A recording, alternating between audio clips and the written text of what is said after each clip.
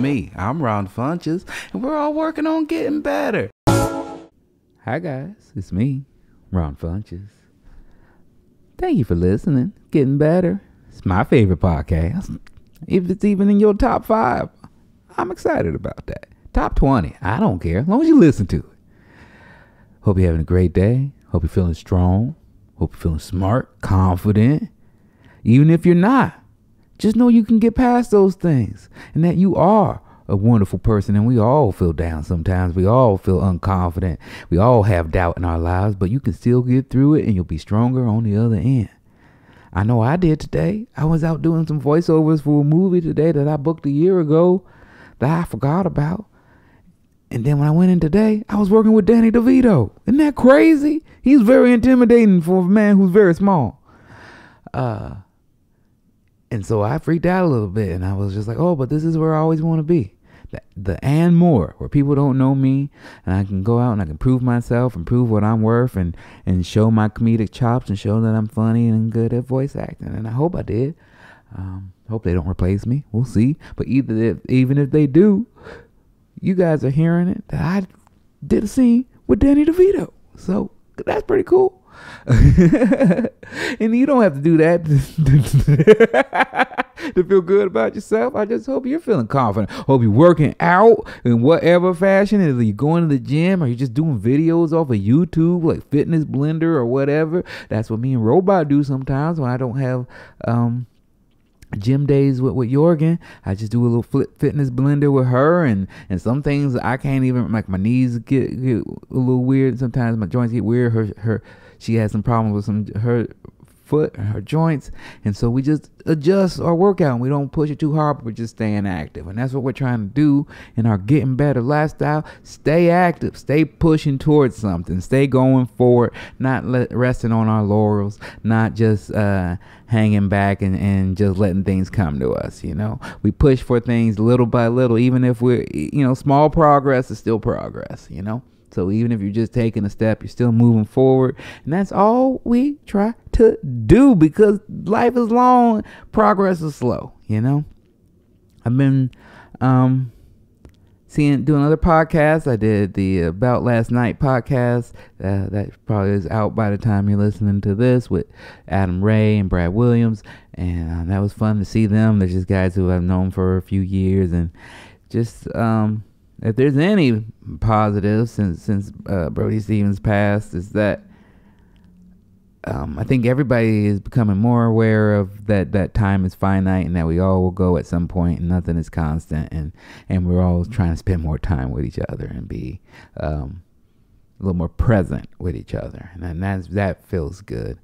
Um, and I just want to do that in all aspects of my life with my son, uh, with Robot, with my mom you know, I just want to be grateful that I have them. I don't want don't want to take them for granted because n- nothing in this life is constant. This too shall pass, as they say. Um, so I don't really have much of an intro for you today because this is an episode we're recording. We're ooh, I can't even say words. This is an episode we're recording the day after the episode we did with Griffin Newman, which I hope you enjoyed. I enjoyed it very much. I did not know that young man very much, and um, just hearing him talk and, and I was very, um, I became an even bigger fan. I was already a fan of his work, and I'm a bigger fan of his work, and I'm a bigger fan of him as a person. So I loved it. But, but since we are recording the day after and we normally do a topical weekend review up front, I don't got much. We're going to have to do, we're going to reach into our mailbag and Halston is going to pick out some emails that we got from Getting Better Pod at gmail.com and I'm going to answer them. So all right. Looks like we got one from Zachary. I like that you're slightly off camera for this. No, I'm not on camera at all.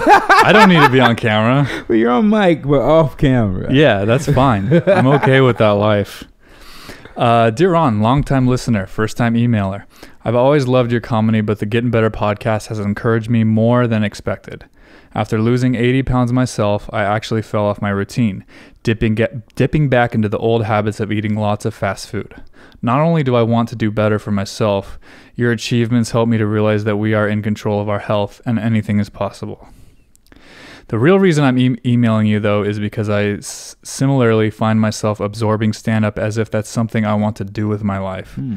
I know that because of your son, you had a we have to make it mentality, but do you have any advice for someone just trying to get up on stage for the first time? I can't seem to shake the this doesn't feel like a real job stage yet. I don't know what to call it. There's something inside me telling me at least I need to try. Well, first of all, congratulations. Um, congratulations on the weight loss that you did achieve. And I'm glad that I'm helping you in any way. Thank you very much. That makes me very happy. Um, I hope that you're back on, on focusing on your diet and staying away from the fast food because that's not good for anybody. That's not even quality. When we cut out some of those fast food trips and save up that, that money for the week and then get, get, a, a good meal by the end of the week, go get yourself something nice. Treat yourself as a star that you are, you know? you, know just just don't don't do that that's just trash it's just there to poison us so that at the end of the day we're reliant on, on drugs and stuff so that we can just even stay alive you know you guys take control of your health while, while you can but as far as the stand-up um yeah i mean there's a time if you've asked me that question when i was in my 20s where i would have said like oh, if you don't have to do stand up, don't do it. You know, like it's a calling, and if you're not called to it, don't do it. But I feel like like any art form, like any craft, there, there's levels to everything. Like I tried wrestling because I wanted to try it because it's a thing that I love. And I wanted to go and, and, and, see what it felt like to be inside the ring and what I found out was that I was not naturally I was not naturally inclined at it wasn't good at it. Um, but I put in the effort and I tried and I could do it for a little bit. But I knew at the end of the day I wasn't going to be a professional wrestler but I wanted to be courteous. I wanted to be um, not be in people's way I wanted to be on time and I wanted to show up and do um, do the job. And I think that's that's all I would say to you is that if you want to do it, just get up there and do it. Don't you don't have to lose your job. If you have a regular job, then don't worry about whether it feels like a real job. You already got a job. This is your your passion. You can have a job and a passion you can have outside activities and hobbies. And then this one, I would think would be very productive for you. You might meet some new friends. Um, you get a deeper appreciation for comedy. That's for sure. Because as soon as you go up and you bomb, you have a complete deeper appreciation for comedy. So, and that will happen. I promise you. I promise you. You're going to bomb. Uh, but why not just go up and, and, and try it? If you have jokes you want to try. Life as again we're learning from, from from our friends whether it be will or brody or or or kevin barnett or anyone that life is short it's finite and if this is something you want to do you might as well try it because you i assume you got the time we all got the time. There's all open mics around our areas that we could go try out. Um, and just know it's not that big of a deal, you know. Even if you really want to do it and you love it, and you, you go and do it and you find out and you love it, you're probably from this moment seven to ten years away from it being a profitable endeavor for you. So you might as well get started now if you want to do it. And um, and you, if it sucks, you don't like it, quit. That's my advice for everything. If you don't enjoy it, stop doing it. That's awesome. I got a lot of this this question. There were a lot of these questions. I'm enjoying your podcast and want the ability to sing along with your theme song accurately. What are the lyrics? I don't remember. I don't remember. Do you want me to play it? Yeah, play the song. It's Ron singing. It's me, Ron. Uh, I gotta find it. Dead air. Great for podcasts.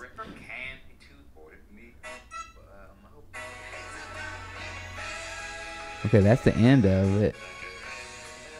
Okay, that's the. Okay, started a little earlier. This one to Brody Stevens. And I just Brody. Enjoy it. Yes. About your health and your wealth. But don't forget your spiritual life. It's about being good friends and good sex and doing the best that you can. About, I mean, it, it seems clear as day to me. Working mm, on getting better together with me. Yeah. That's it. You got it now. I think you got it. I think it was health and your wealth, but don't forget your spiritual life. It's about being good friends. And I think I say good sex. I'm not sure even there. That's the point where I mm-hmm. forget. Uh, but it's definitely about friendship and relationships and sex. Let's play that part again. Yeah. Maybe we'll know. We'll find out. Mm. Mm. Yes. Positive.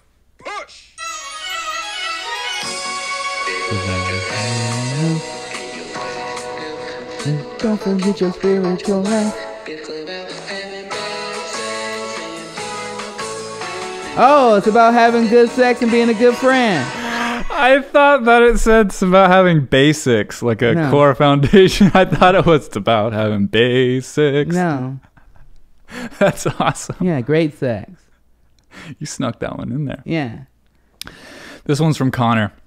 I was wondering how you prioritize how you improve yourself or have any advice for how I can. Sometimes I sit down and make a huge list of all the things I want to change or mm. improve or get better at. It ends up being a pretty big, daunting task. Yeah, Knowing right. that there are so many things I want to improve makes it daunting to work on them, especially when I slip up. The list is anything from improving health, getting into better eating habits, budgeting better, being more positive, all over the place. So mm. I guess my question is this. How do you pick what you improve when you're constantly getting better? Is it a conscious decision you make, or do you pay more attention to the overall mental framework you have? It's a little bit of both. That's a great question. I think it's a little bit of both. Um, I think I, I look at it uh, like a basketball player, great basketball player. Like um, they might be come in and they're good at certain things and they just keep working at their game, but then sometimes they'll they'll pick certain aspects of the game. Like if you're a perimeter player, you're not good in the post. If you're not good down low, you might then be like, oh, I need to learn some post moves because I'm getting older. I'm losing my athleticism. So it's a little bit like that. But you don't you don't stop working on your three pointers. You know. So it's like you're still working on like let's say your list, like being positive, being more positive. That's the thing that you can work on every day constantly all the time whereas your health goal is is something that you're going to have to see step by step a little bit over a little and then to me that can be um, just making your goals more specific and if your goal is like oh i want to get healthier then i think the one step that you can make from the start is like oh what can i cut out you know? So i would pick one thing i can cut out whether if you're a heavy soda drinker a heavy candy eater um, heavy fast food person or, or cheese guy or whatever and just if you were two if you have two or three of those on your list like i know i did um you know pick the one that you go okay this is the because for me i was like okay um i love soda i love gummies um i could quit soda easier than i can quit gummies i don't have Did you gummies eat them both much. together? oh yeah that's a good mix no, the gummies get so hard. no, you're being ridiculous. Gummies, you take a gum and you chew it up a little bit and you swig a little soda in in there. You double sugar blast. You're on the moon, basically. Do you have cavities? No. What? Yeah. Come on, man. And so, you know, just pick a thing and just be more specific about what your goals are. Because I think that can be daunting if your goals are general, like be healthier, be more positive. That's a very daunting goal on its own. You got to break it down, do do some short-term goals in there. What can I do if I want to like I want to just and, and don't make it like um, goal based. So don't make it like, oh, I need to lose five pounds the next month. Make it be like, oh, I'm gonna go. Um, I never go walking, so I'm gonna go walking two times this week. I'm gonna go walking three times this week. I'm gonna go try walking every day after work and just build it up, build it up, and then that because of that, the, the pounds and, and the side effects from being healthier will occur. You know, you don't want to go into it just thinking about weight loss because a lot of times, especially if you have been sedentary like I was, um, the weight loss comes in conjunction with muscle mass. So then you might work out a bit, be feeling healthier, be looking better, but actually go up a couple pounds, you know? So you can't worry about that. You just get to so I guess my advice to you is break it down into steps, be a little bit more specific, have short term, medium term, long term goals, and, and, and just also, you know, know you're human. Give yourself a break. Know you can rest. Know you're gonna make mistakes, and that doesn't mean the effort is all we need from you. Really, you know, you know everything else you'll you'll figure out with experience. But as long as you're making that effort, having that commitment, you'll be just fine. This one is Uh, more of a story, but also it's got a cool mantra at the end that that he kind of made up because of this podcast. This is from Tom. Over the last few year, over the last few years, my life has had its ups and downs. I've dealt with depression, trauma from a past abusive, toxic relationship, and loss. I am proud of myself for getting away from such negatives in my life, but I do struggle with the residual weight of my past decisions. Last week on your podcast, after listening to you share your story, your struggles, and your vision for a better today and better future, it inspired me. It really did. I went to work the next day and was faced with a challenge, a trigger that took me back to a very heavy place. I stood there and stared into the distance and drew a very long breath. I thought about the inspiration I got from your podcast and decided not to take myself back down the path into that negative thought. After that, I was calm, to which I told myself in my best Ron Funches voice, I'm getting better. It acted like a form of cognitive behavioral therap- therapy, which I have learned but struggled applying in the past. Aw. It's pretty cool, That's right? very cool. That makes me very happy. Thank you so much. I really appreciate that. I'm glad. Yeah, because that that's it, right? There's no. It's not. Doesn't mean you're perfect. Doesn't mean that you always make the right choice, but it means that you know you, you can look at the mistakes you've made in the past and go, I don't want to do those again. I don't. I'm I'm getting better. I'm not that guy anymore. I doesn't mean I'm a perfect guy, but I'm a better person, and that that's really all it's about. Um, that actually reminds me of a um a DM I got on Instagram from a guy who said that um, he listened to the podcast and he liked the advice about just focusing on yourself and not looking on other people's paper. And and not and that he had a coworker that he just really didn't enjoy and didn't like and they were kind of going at each other all the time. And that uh, he took that advice and just stopped engaging with that coworker and started just focusing on his work. And then 3 months later he had a promotion was making more money and was out of that area. That's awesome. Right? That's a beautiful story. I'm glad, man. You guys make me so happy that I do this uh, unprofitable podcast. For now. this one's from Farron. My dream in life is to have a cartoon, and I've been given an opportunity of a lifetime, but I've had the worst writer's block, and I was wondering what gets you out of those kind of funks. oh, for his writer's block? Yeah.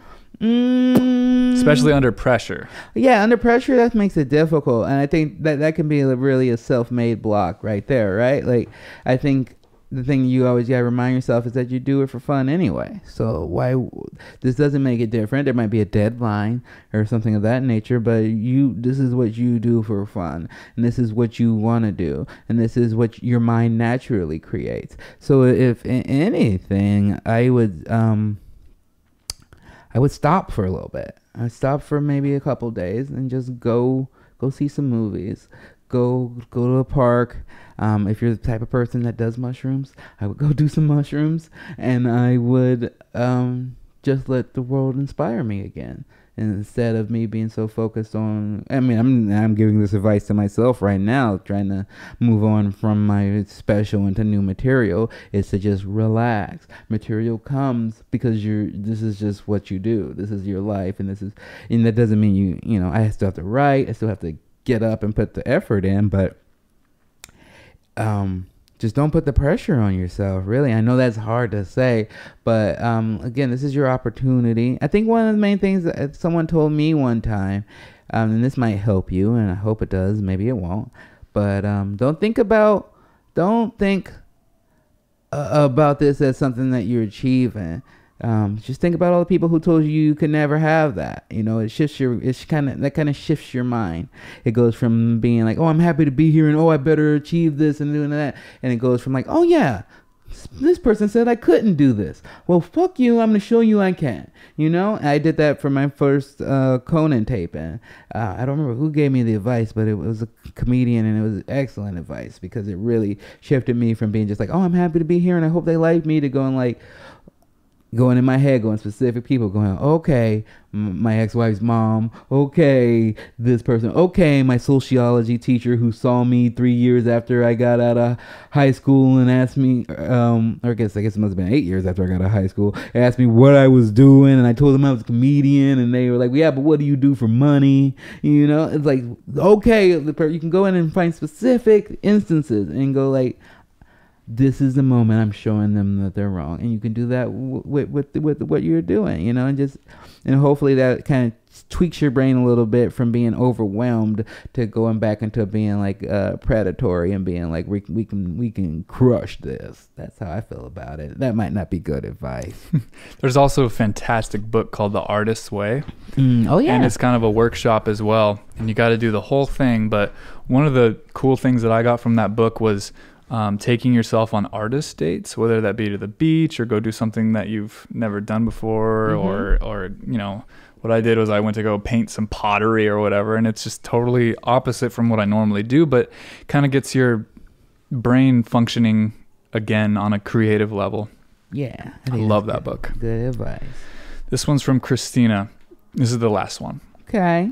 Just listened to the first episode. Loved it. And I'm upset to hear how people reacted to your son's dream of owning an Aston Martin. My little cousin just turned 21, has Asperger's, and cars have been his thing his whole life. His Hot Wheels collection is insane, and he knows everything about cars. He can look at one off the street and tell me all about it. He went to community college to be a mechanic and graduated, and now gets paid to do his favorite hobby. Nice. My aunt and uncle bought him a Lexus for his first car that he earned through getting good grades at school and attending some school social functions that were out of his comfort zone.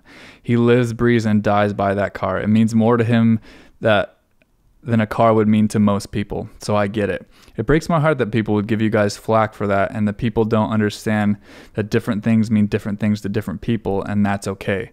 We are all unique. So judging is just stupid. I can't wait till the kid gets his dream car. Thanks for the podcast. Oh, thank you. That makes me happy. Pretty I like cool. that. Yeah, cool. Congratulations. I think that'd be great. Great job, mechanic. You know, obsessive on uh, on on on a specific thing, and of course he's gonna be great at it. You know, yeah. And my son get that Aston Martin. Maybe not this year. Seeing how nobody's purchased my show yet, but who knows what the future may hold? I'm in a movie with Danny DeVito. so who knows? Oh, but yeah, man, that makes me feel so awesome. Those are great letters. Um, please send us more letters, getting better pod at gmail.com. Um, we'll answer them sporadically. On the podcast, but we're gonna be banking up some episodes, so we're gonna need letters, Mhm. right? Yep. And I, I like answering them. I like talking to people. So, um, man, you guys just really made my day. And that was really, really fun. How much time did that kill? Uh, like 22. oh, perfect intro amount, guys. Thank you so much. Thank you for killing it with your letters today. I loved it. I hope you guys got something out of it. Um, we'll we'll have our guest coming up with us. Um, it's a guy who who I just grew up loving. Um, great comedian. Um, had one of the best shows when I was a teenager because it was so different and it dealt with um, dysfunction in a family. I felt like at a time where where every show um, I saw was kind of like, oh, everything's fake and everything's good and it's all like Cosby Show or or, or um everybody's got two parent household mr belvedere type stuff you know? Um this was a show that was like oh my dad's messed up i'm messed up my mom was messed up everybody's messed up and it's and that's funny. And um one of the main reasons i wanted to get him on the show is because i'm trying to that's kind of what my material is about and what i like to write about and what my shows have been about is taking um putting the fun in the dysfunction and finding the uh, optimism in the positive and negative situations. And i've been hit with a lot of resistance lately you know? I got my project about my son and i and and, that's been been um troubles. I mean we sold it but then we're now we're trying to sell it to another place. And then the other project i wrote about my my my dad and i when i when i was a kid and stuff one of the main notes I got was like, "Oh, it's just too dark," you know, and it made me feel bad because I was like, "That was my life," and I just feel like that's the type of humor that I've always enjoyed, and it's the type of humor that he created. He's also a guy that lives outside of the Hollywood business model. He's very successful, uh, very respected and well known, but you don't really see him a lot around the, um, touring the comedy store or the improv or anything. He puts out his own specials on his his website, and um, I'm just really interested to talk to him. He's a very unique mind who, who um, has a lot of opinions. Um, our guest is Christopher Titus, and he will be with us in just a moment. Are we ready, Halston? Oh, we're already going. You're good at producing. wow, that was like so. At that at that point, it was an interrogation. Do you know that? If you're recording without us knowing, that's an interrogation. yeah, yeah, yeah. Like we didn't even know that. That was some FBI shit. We, we didn't even started yet, and you're like, okay, let's get what Titus says off the mic. Yeah, exactly. First of all, thank you for coming. I Come really- on, man. dude. Thanks for inviting me, man. You know, there's uh, there's some people I follow on Twitter, and there's some things that I and you're always really funny and and nice. And I've seen your comedy, and I just your your your your your heart is always so pure. And there's so many cats that are bro comics that are just they're hard and mean, and you're not mean. And I think I think the meanness in comedy, and I'm I'm I'm, I'm loud, but I always try to make it. The meanness in comedy, you don't have that. I try not to. No, and I like that. I like that. I appreciate that. That's um. I guess that lead me to my first question to you right now is um. Why is your comedy so mean? no, my my more question right now is um. Are there comics that you're fans of, newer comics that you're fans of now? That um, what do you what do you enjoy now? What do you see in comedy now? Because right now you're um, I mean you're definitely a veteran. You're I hope you don't mind me calling you a legend, but I, I consider you one. I know how that probably would sound, but I mean you're a person. I mean I, I grew up watching your show. You know your show meant meant a lot to me, and your stand up means meant your a lot. family To me. was not as Yes. not really well balanced. No, that's one of the reasons why I asked you in the show, and we'll, we'll get we'll get to Okay, that. all right. But I wanna um I wanna ask you about what are you enjoying in comedy right now? Um, it's weird, man. I've gotten to a place now where I've done it. Yeah, um, I've been doing. I mean, I've been in 35 years now. I started when I was 19, and uh, I'm to the point now where I, I Maria Bamford makes me laugh. Uh, when I see Patton, when I see, my comedy kind of uh, a sense changed. Like, guy Patton taught me about to reminded me that words are important. Like then, then I went back again to Carlin, and I was like, oh, I, you know, I could always perform. Actually, I used to do. I had used to have no jokes, um, but uh, but but Patton and Carlin reminded me how important words are. So I really started focusing on my writing, um, and so those guys I love. Uh, Maria, I, I I watch Maria because I'm just always stunned by it. And me, Maria Bamford to me is like watching a magic trick because I'm never her how, I'm sure how she does it. I'm like, how the hell is she changing her voice that far? How is she? How is that line that she, she made dead funny and it's not even a setup punchline? There's no structure to it that I recognize. So Maria's Maria's a magic trick. She she's she amazes me. Um, I think I, I, I, I love anybody who has the balls to get on that stage. You know, always comedy. You have to be psychotic to be a comedian. You have to be. You have to be. It's a mental illness. You have to get on stage in front of a bunch of strangers and think that you are the most talented, charismatic, funny person in the room. That's that's serial killer shit. What I have to say is the most important thing Yeah, yeah, in this room of thousands of people. exactly. That's psycho. Do you hear the psycho in it? Yeah. Yeah, definitely. oh man, well, I'm, I'm glad to hear because those are some of my favorite comedians, and I like what you said about um, what Carlin because I think it, it is showing. Um, and, and some of your, your recent specials, I think you've, you've you've shifted a lot to be because you when I watched you when I was younger, it was very personal, very story driven, a lot of um, personality driven, Yeah. and now you're you're you're very topical. You're very um, This one's specific though. yeah, this, yeah, no, this one, the, Yeah, the latest one, yeah, the latest one specific, yeah. the one before, but it's still still personal. But I mean, I think, um, and you're very prolific. You you coming out with specials like every every year, every year, Two year and a years, yeah, half, year and two a half, years, yeah. yeah. yeah, between a year and a half, two years. and and you're doing this kind of um, with your own business model, Yeah, with with, with, yeah. with your website, and these are things that that interest me a lot. Um, so I want to know more about. Uh, I want to know more about your business model and you operating outside of, of the typical industry, and still because you're touring Is that, a lot. is that starting to get around now that, I- that Titus is like Titus doesn't I don't yeah I uh, well I mean listen at, if you sit down uh, the Berry Gordy model won't work anymore you know the old Motown model that we're we're gonna take eighty percent of your money of your talent doesn't work anymore and you can say what you will but that model still works they're still using it. We just turned down a deal. There's a com- there's a company that they all they do is comedy. It's all they do. They're the biggest comedy. And the contract they sent me, I I looked at it and I was like, Okay, so no money up front. All right. Uh, we're gonna, they're going to put it around the world. Okay. Uh, and then uh, we get 10% sales fee. Okay. Now, this is a special that was already produced. We already produced it. It was done. I put my money into it, so I wasn't getting my money back. Then the list, the list of expenses was literally shit. It was, it, it looked worse than any accountant I've ever seen. It was just this list of expenses, and I was like, "That's I don't I, sign spinner. There's no sign spinner. Why are we getting a sign? When did I didn't approve a sign spinner?" And uh, and so I said no, and then my manager got mad at me, and I fired him. Um, I've been doing it since Norman Rockwell. Showtime when we did Showtime, um, Norman Rockwell it was bleeding is my first special that aired. We we Showtime for whatever reason showed the special, gave me the rights to it.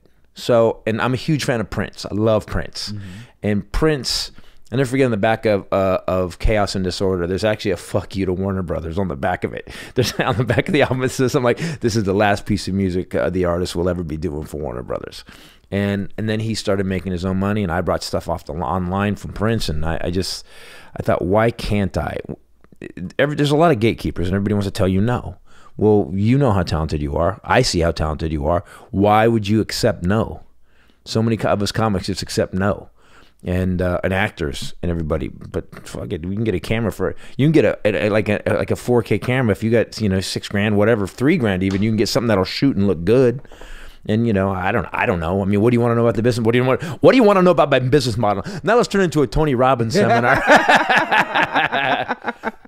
I mean, I just I think uh, I don't need to know specifics, but I just like I like that mindset. I like that independent mindset, and I think especially for someone who who's had a career as long as yours, you, you need that because at a certain point, there's places like you said, the gatekeepers or whatever, be like, oh well, you're you're you're out of the age group for our, our audience, and we don't, Yeah. you're not you're not new anymore, so we Right. don't need you. uh, Born with a Defect's all about raising kids, and they were like, uh, "It's about raising kids. We're not going to put it on. You know, our demographic is okay."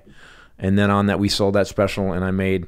It's funny. Here's the thing. I can all I can all I can tell you is this: if you do it yourself and you work your ass off, you will make more money with your own comedy than anybody's ever paid you. I guarantee it. Like I've I've proved it. Oh, year after year after year.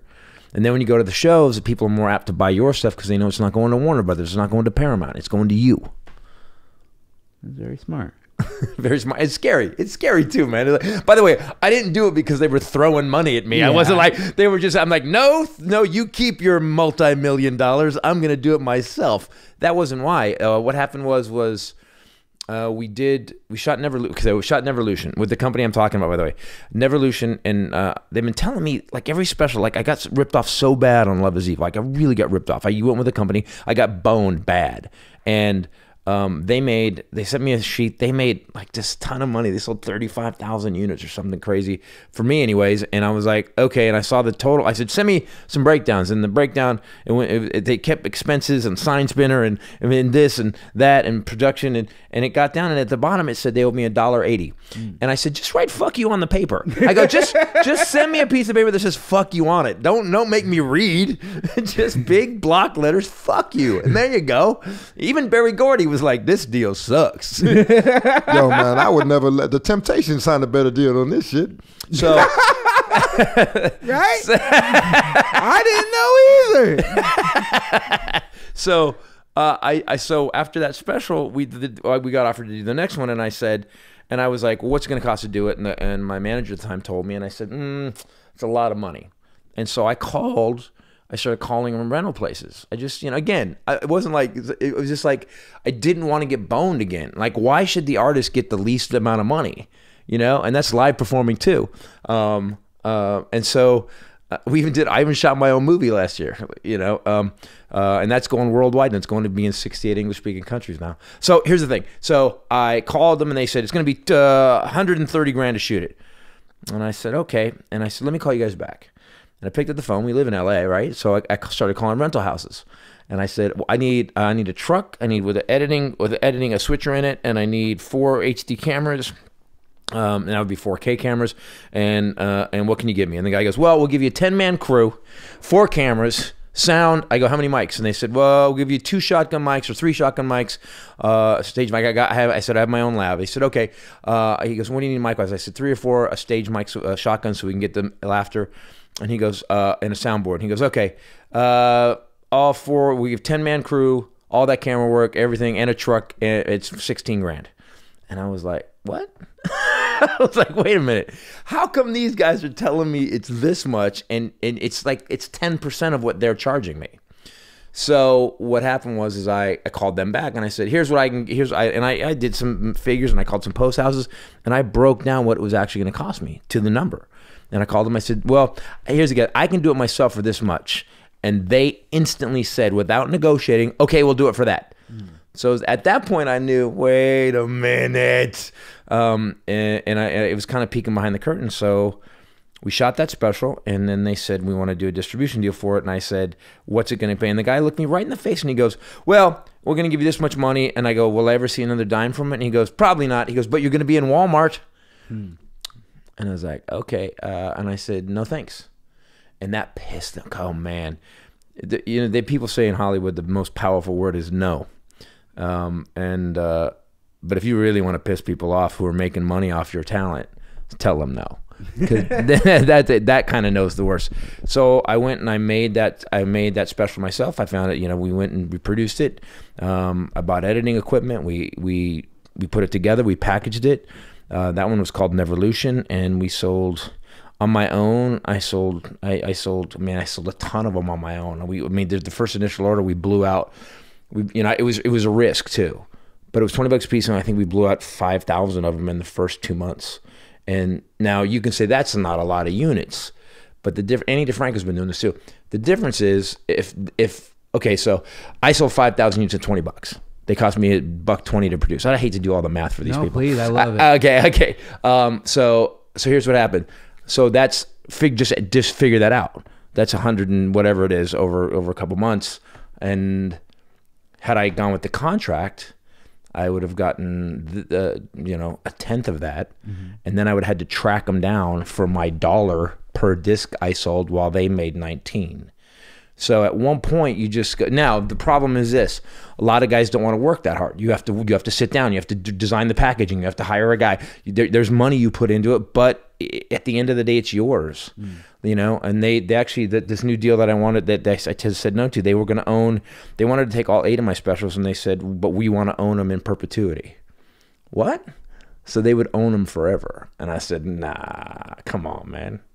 I don't want my kids to have to fight you. You know, that- you know I'm going to die one day. I don't want my kids to be like, yeah, dad, dad didn't leave us anything. So I kept them. I have, I own all my specials except for one.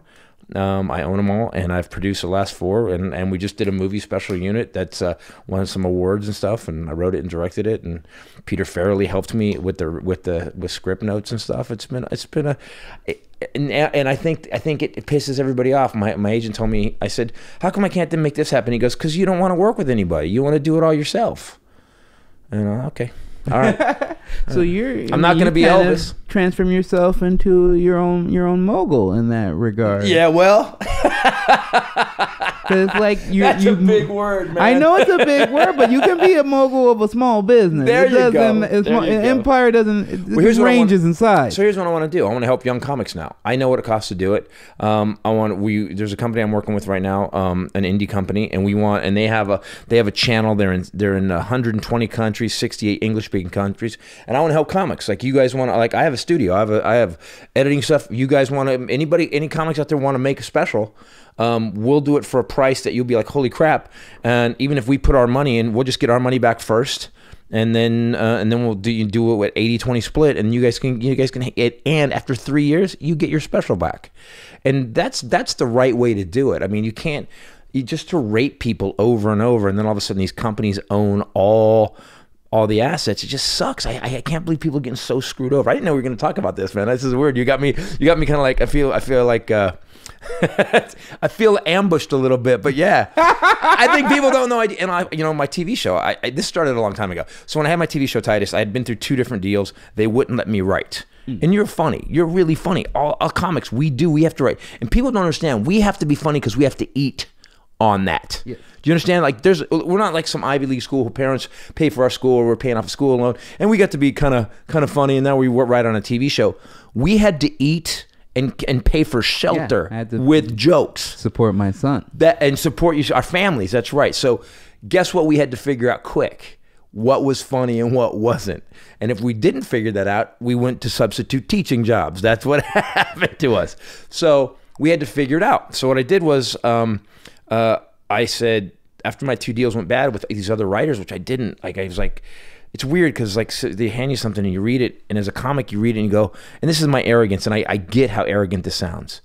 But I go, this isn't funny. I'd go, this isn't funny. I know I, I've been writing jokes at that point for 15 years. This isn't funny. Uh, they'd be like, yeah, it is. I go, no, I, I, no. I go, this won't make an audience laugh. So after the second deal failed, I, I said I wouldn't do another deal. I took, I took a course called the Landmark Forum, and I, and I said I wouldn't do another deal unless I was a writer on it. So we got offered a deal for uh, the idea came with Titus. Um, a, a, some very amazing writers, Jack Kenny and Brian Hargrove, um, came in, and they they actually the network said no. They said flat out no. They said we love the idea, want to do it. You're going to have these guys write it. and I told them, I said, well, I'm not. I said I don't want to do it then. And uh, and they said uh, again no. And I said uh, and they said, well, uh, okay, go ahead and you write a version of the script. So I had to write a version of my own script and uh, and I, it was the idea I wanted. The three cameras. It was Titus. So they wrote their version, and I wrote my version. And they took my version, and they read it, and they called me back, and they said, "Want to have a meeting with you?" And we sat down with them, and they said, "We've gone to the network with your script." And we've told them that he is as good as any writer we've ever worked with on a sitcom, and he gets to be executive producer and one of the writers on the show and those guys stood up for me. Jack Kenny and Brian Hargrove. Jack Kenny did um, Warehouse Warehouse Five too and stuff. He's and he's he's he's really brilliant, and Brian Hargrove really brilliant. And they taught me about story and structure and making it right. I knew how to write jokes and I knew about Yeah, story, but there's a difference. Yeah. in putting the acts together. and- yeah, sitcom Yeah. structure is really yeah. Especially because you got to do it in like 26 pages, 24 pages. Like it's you, you're writing you write 48 pages. You turn and they go, "We did. How, what did you write? An Yeah, epic?" You got all these jokes and you forget about exposition, and they're like, "What the hell's the story?" and, and these characters. that's why we had a rule on, on on Titus. We had a rule that I wouldn't let. I, I they would say we'd never gangbang the script. We would all break one out. We'd break out the story, and then we'd pick a writer and go, "This is your script," and we'd let them go away for three days and write it. Because I, I I think because at least that guy's brain, we had a through line through the story. Then didn't whatever we all came up with together, it went it got filtered through one guy, so the voice was clean. I think when you gangbang scripts, you have a guy in one, you have three guys in one room and six guys in another room trying to fix scenes. Those scenes won't match anymore. You know, you know, it's like it's like all of a sudden this there's a jazz break in, in a rock song. You're like, what the fuck happened here? So so that's where I learned all my writing was Titus, and, and I got a Writers Guild nomination for it, which is uh, for an episode I wrote. Yeah, I mean, great show. It was an excellent show. I got many questions. Um, one thing, because I was went back and watched some episodes today, and I didn't realize um, that your dad on the show uh, that um, w- that we both worked with him. I did three episodes of um, A Man with a Plan with Stacy Keach, Yeah. and and man, that is a talented man, Yeah. and that is a great actor, timing like no other. right? Um, so I I only worked with him for three weeks. What so was it like working with him? oh, I mean, it was it was really professional. It was fun to watch someone who was like, okay, I know my stuff. I'm leaving now. that Yeah. was my favorite part. Was him being like, all right, I did my stuff. I got it. I'm leaving. And I'm and I'm and I was like, well, I, I can't do that, right? And they're like, no. No, you're staying there. We're beating you to death. That, Yeah. That's Stacy Keach. yeah and and but he was very um he was very giving with me with working with him and the scenes that i was with him he he was kind and, and was like told me i was funny and and and um and i knew he and he did not seem like the type of person who would just tell you things if he just you know if he No, didn't no, believe no. him Stacy, Stacy doesn't have to be nice to anybody if he doesn't want to. Exactly. That's Yeah. what that's what I got from Yeah. him. And but um I mostly I just tried to shut up and watch because I was like, this is a man who who clearly knows what he he is doing and has been doing it for a long time. He was annoying in one way because Stacy's so good. They called him the American Olivier. That's what he was called for many years. And he, so I would have the joke. I would have the punchline. It would be my laugh. He would make the setup so funny that I'd be like, "Motherfucker, did you just you just hurt me?" like, so then I'd have to. But but what it made me do is it brought me up. And there's a mm-hmm. joke. We there's and he would.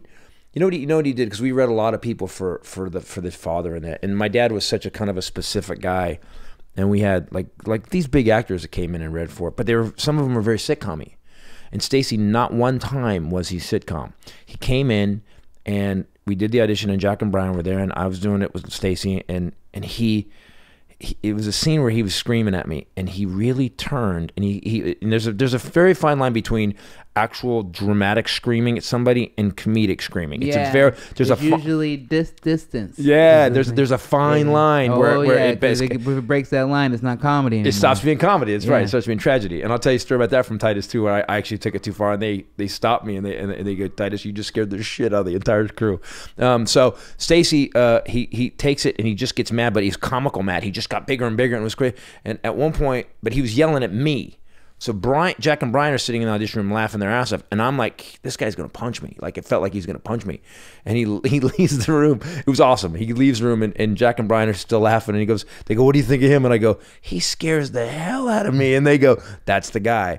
And he did. There's a joke. We it's the longest laugh we ever got on Titus. It was a joke. Robert Hawkins, comedian Robert Hawkins, wrote this joke. Um, I painted my dad's car, and he. This is based on a true story. I painted my dad's uh, car. I'm a car guy, and um, my dad got busted for drunk driving. He blamed that he got stopped on the paint job I put on his car because it was a custom paint job. And I was like, no. You, so in the in the show, I go, I go, you were you. I go, I go. Maybe you got busted for drunk driving because you were driving drunk. And Stacy turns and he goes, no way. He goes, driving this car around, I'm like a black guy driving a powdered donut. And and like the audience like laughed and then they thought is that racist? And they went no he's making fun of cops being racist. And then they laughed again and then, and we're standing there and this this rolling laugh is going on. And if there's a it's in it's in one of the outtakes uh, that we did and I'm standing there and the laughter won't stop. It's like four different waves of laughter. to hold I'm trying to hold. And I finally just looked at my watch and I said, fucking, I walked off the stage. 'Cause we had to start over again. And then even editing, the second time I got another laugh and we had to actually, we had to shorten the laugh just for time. It was such a great joke. Stacy, Yeah, no, that's a that's a. I've yeah, been blessed to work with Stacy. amazing Genius. joke, and it it does hit you. I can see how it would hit an audience on levels that the oh, that's beautiful. Yeah, yeah. Because they caught themselves. They went, "Oh, it's racist." Wait, no, it's against cops, and they laughed again. And then, and then Stacy just kept. He, he, he, he held. Here's the thing. I was standing there waiting for the laugh to stop because I'm a comic. Stacy continued to act angry. So he stayed in the moment the entire time and just kept looking at me like he was gonna kill me. And I think that, and then he was milking it. At one point, I was like, "Come on, Keach, you know, he's so good. Yeah, he was so good. He just kept beating on it. He, and he, and he, he's he's a good man. He's he's he's a really good human being too. I think that's I think we meet. We've all met people in this business that we, and I think some people might say it about me that just like that guy's a dick. I think some might, might say, but Keach is just a, just a just a mensch, just a good guy. Yeah, I could. Yeah, I was just there for for three weeks, but yeah, he was. Uh, Um, I was like, man, I'm luck, lucky to get to work with you. Consummate pro. Yeah. Yeah, for sure. Um, I have questions about you creating Titus, and um, because one of the main reasons why I asked you to be on the podcast is that, um, like you said, I, I grew up watching your show, and it is because I had my own dysfunctional family, Yeah. and a lot of my humor um, comes from that. It comes from mining the positivity out of negative situations. Um, I you know, my, I grew up and my mom was in an abusive relationship, and then moved in with my dad, and he was in an abusive relationship with a woman, and then um, and then I had my son when I was 20, and my son has autism, and and then my relationship doesn't work out, and I'm trying to write shows about these things, Right. and I find great humor in those things, and constant like I've been I try I saw the show about me and my son, and then constant notes about them about them trying to make it broader, and and then I tried to sell the show about me and my my dad, and the I get out of a pitch pitch meeting, and then they were like, "Oh, they're gonna pass it. They say it's too dark," and I just was like, "They said my life is too dark, Right. For American consumption, and like, I'm, like, I'm And there's a list of shows behind, and Breaking Bad is like the number one show at the time. You're like, I'm sorry, what? Yeah, Yeah. That's the thing I, I don't get, and I think that I find so amazing about about you able to accomplish what you did, is that because w- when your show came out, the lan- landscape was probably even less Yeah, like Seinfeld. that. It was Seinfeld. Yeah, yeah. It was like it was Seinfeld and Friends and fakeness and, and Yep. being super rich and, and no jobs, you know. And I liked shows like like yours, like Roseanne, like Grace Under Fire, that showed blue collar, that showed people with faults, and that's what I kind of write with now. And I'm finding the same, um, if not, you know, hurdles and, and issues. I want to kind of ask your advice on how to deal with it, and and because I know that's funny. I know these things are funny. Right. A- And what, what here's the thing, Dan. Okay. So here's what I found with Titus. We got really lucky. Uh, uh, people would go, How did you get that show out in the time of Seinfeld and Friends? Because it was the time of Seinfeld and Friends. Because there was nothing else. Like I mean, the, the closest thing to it people said was um, Married with Children, but even that was that was really cartoony. Yeah. we played it very real. We played it, you know, that was Jack and Brian's. Like they were like, look, guys, we're gonna ground this in reality all the time. As far as we go out, it's got to come back to a grounded place. But we, the first episode we wrote was called "Dad is Dead." Like and I- and I and they kept going. Why? How come we're not? We have Stacy Keach. Why is he not in this episode to the last five seconds? And I said because I said you guys remember Archie Bunker? And they said yeah. I said "Bec- well Archie Bunker. When Archie Bunker walked in the room, you went before he said a word. You went oh shit. Like you were just like it's coming. Here we go.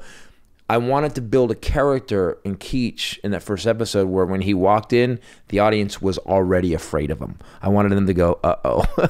so we wrote Dad is Dead. And, and I think when we wrote Dad is Dead, um, the network, because there's low money, I had some big money deals, and then this deal was like, you know, this low money deal because they, they thought the script was too dark. And and uh, then Jack and Brian came on, and they had been on this show called Holding the Baby, which is very sitcom uh, and not minding their talent at all. And they, we wrote this. We we actually combined. the Remember, I said we did the two scripts. We combined the two scripts. Um, so here's what happened: is that we the network. The show was so outrageous with the flashbacks, and I was talking about my this Jewish girlfriend that used to punch me in the face, and we used a lot of my, mind my act. I think the network thought, well, this will never work. They went, this is never going to work. So they left us alone they just we kind of flew under the radar for a minute and then um, Mindy Schultheis who was the producer on the show and Michael Hanel they were awesome they were they were with 20th at the time they the story i heard was mindy went in and they had just switched presidents doug herzog had left it doug herzog loved us and he was great but then Sandy Grushow came in uh, for the studio and before he went to the network and Mindy Schultheis took the script. They were saying, "No, it's too dark. We're not doing it." And Mindy Schultheis slammed the script on the on the desk, and she said, he, "She goes, you show me a fucking funnier script that we put out this season. You show me one funnier script, and I'll walk away. Go ahead." And she just she did something that people don't do in Hollywood. They stand up for something and they and they stick. They don't just go, "Okay, what do you guys all think?" All right, she stood up for it, mm-hmm. and they said, "Okay," and they gave us a pilot, and they knew it wasn't going to work. In fact, they almost fired Cynthia the day the day of the, the the day before we shot the pilot. And then Jack and Brian again being very brilliant. Jack goes, "It's not her fault. She's a great actress. She's the only funny girl." We we, we saw we had 225 women for their parole. And she goes, he goes, he goes, it ain't her, it's us. And and I remember I remember sitting back like, wow, that's wow. So that night we went in and rewrote her entire role.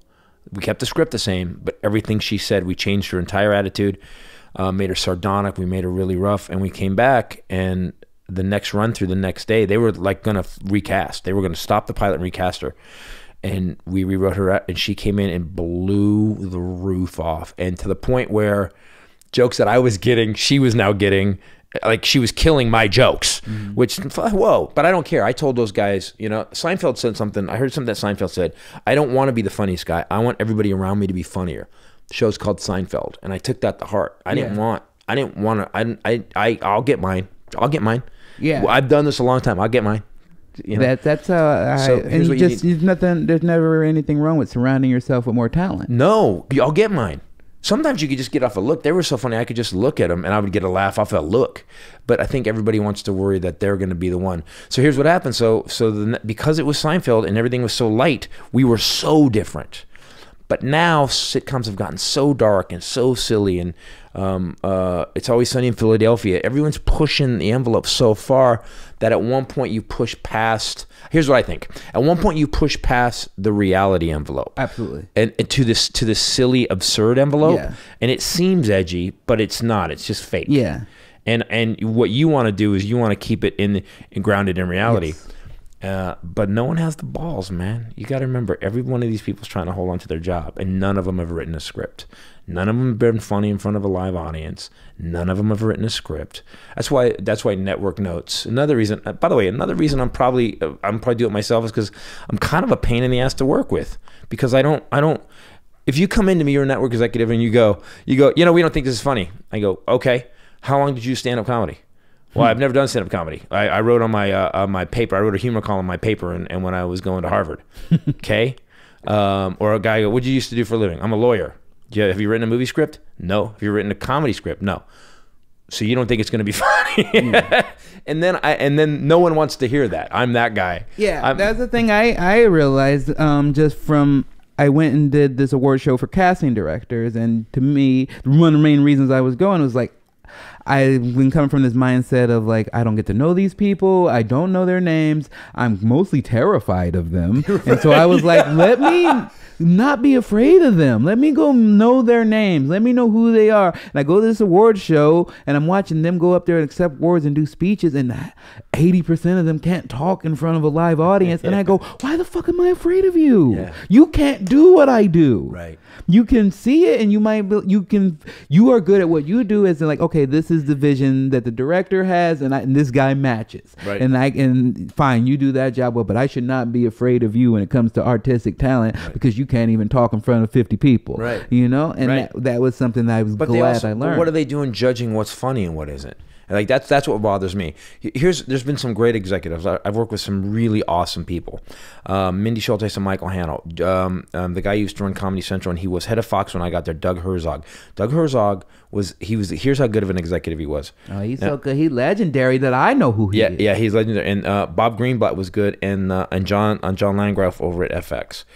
Because here's what they do: they they they hear the idea. They're good at recognizing a good idea. They don't want to piss on it. That's what everybody wants to put their scent on it. Because he knows John Glass. Some of these guys know that. Oh, if I if I greenlight that show and let the creators do what they're good at, I'm gonna get the credit anyway. There's other people that go, oh, if I greenlight that show, I need to make change it so I can say I changed it. Um, and I've worked with some really bad executives that came in and wanted to put their mark on something. And the reason the reason Titus ended. Oh, here's another thing. Uh, you're a much nicer guy than me, I think. Because I go uh, when I went to the, I got Titus canceled because I went into a meeting with with the new president. We had three presidents in three years, and with Gail Berman and I, and uh, and want to say I got it canceled, I just didn't agree with her. She wanted to change the show, and I in a meeting I just said no. I go, we're not, I go, what you just told us to do, Dharma and Greg just did. We're not doing that. I go, we've been doing the show for three years. It's killing. We're, we're going to keep doing what we're doing. Now, that's what you say in a meeting to the network president. You say, we'll try that. Sure, let's look at that. We'll see. We're And- open. Yeah, but I'm a comic, and, and how do you take a guy who's been since he was 19 saying saying what he wanted on stage, being funny, and, and in front of a live audience, and not and telling the truth? You can't. You take that guy. You don't take that guy to the meeting. If you want to bullshit, take the bullshit guy. Don't take me.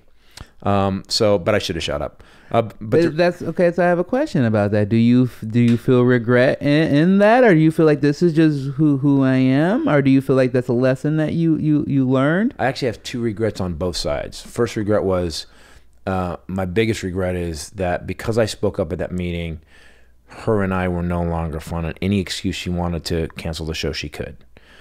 I should have made her my ally, and I didn't. I made the crew my ally. I made the guys at the gate front gate my ally. Uh, made the studio my ally, but I wasn't the network. I just the, the network again. There are too many people that didn't know didn't know anything about comedy were coming in and telling me what was funny, and and I take that you know this I've made a living since I was I've had to pay my bills with it, so I know what no I'm, but I'm also not good at diplomacy because I'm just going. I, I always look. I was taught like this. I was raised by a hard father. He told you the truth, how it was. If you got a D, he didn't go, you'll do better next time. He went, listen, dumbass, this is a D. You know what it stands for? Duh. He would just, like, my dad would just rip me and thinking that was going to help. If I got a B, it had to be an A. Like, there was always something, and he was dead honest. So I was raised dead honest. So I, in meetings, I would not be very diplomatic. Um, this I just wrote something and sent it to a showrunner, uh, and I told him we had to talk today because he said, I, I said, listen, if this goes and we work together, I'm not going to any meetings. I said, yeah, I said, So you have learned your yeah, lesson. yeah. You come back, come back to the writers' room and lie to me. Tell me, no, they loved it. It was great. We have a couple of changes we're gonna make, but that's all. Uh, fine, uh, but I'm not gonna listen to. Um, anyway, so so that regret was yes. and but here's my regret. My regret's not that the show got canceled for me. It's not, re- you know, because I'm I've done fine. My regret is there was 150 people that worked on that show. Yes. And they all had jobs, Yes. and we had a blast every week. And the people that I work with, the, the actors were awesome, and the writers, the writing team we had was so amazing. My biggest regret is those guys. I didn't get to work with those guys. I didn't get to work with those guys anymore, and I- lost those people their jobs, and I take the hit for it. But it was 12 years. You know, someone told me recently. They said uh, it Titus. It was like 18 years ago. You know, it was like 18 years ago. No, it was 2002. 16 years ago. When are you gonna fucking give give yourself a break? I've apologized for it. I did it. Here's the biggest regret. That happened about four or five months before the show got canceled, and the the, the executive who it was a woman named Gail Berman, and Gail Berman got fired from Paramount um, because she was impossible to work with. This is after she was was a president of Fox, and that's why she got fired at Fox too. Actually, I take that back. She left to go to Paramount with Brad Grey, and then so here's what happened: is I get a call from uh, Dana Walden, who's an ama- another amazing executive. Dana Walden at 20 is first. I think she's president of Fox now. She her Dana her and Gary Newman. Just Gary Newman, I apologized to him after the show got canceled. He goes, Titus, he goes, don't apologize to me. He goes, I never saw anybody work harder than you did. And that was really nice of him to say. And and and, and Dana Walden, they're just two great people. They Fox, by the way, that's who's head of Fox now, right? Dana and Gary. So that good, good. Fox is going to be awesome. And it- anyway, so I'm on the way. Gail Berman wants to have lunch with me. We're, we're talking about getting the show renewed for the fourth season. Then we're in the we're at the end of the third season, and I get a phone call from Dana, and she's like, "You go and you kiss her ass at this lunch." I think I set it up because I wanted to apologize to, for that meeting. Mm-hmm. And, and and I go, okay, okay. She goes, no, I'm not kidding. Don't you give her any shit. Don't you say anything wrong. You kiss her ass. And that's really not who I am. But it's okay. But I said, okay, okay, okay, okay, okay. Go to the meeting. And Gail just sat there, and, and I, I remember saying, I don't know if I should be telling this. I it's gonna, yeah, my career's already over anyway.